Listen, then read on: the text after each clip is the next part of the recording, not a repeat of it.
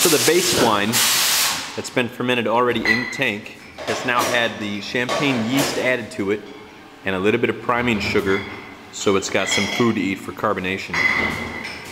Just the pressure of the tank comes along to a gravity filler where Tim places the bottles down and the bottles get filled up like so. After they're full and taken off, Cornell places a bidule in each of the bottles firmly.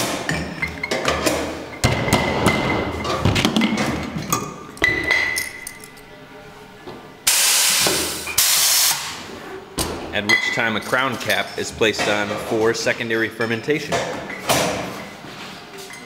After that, the bottles are all taken, placed in champagne cages, where they undergo a long, slow secondary fermentation and en tirage aging. This is Two Lads Winery bottling sparkling wine.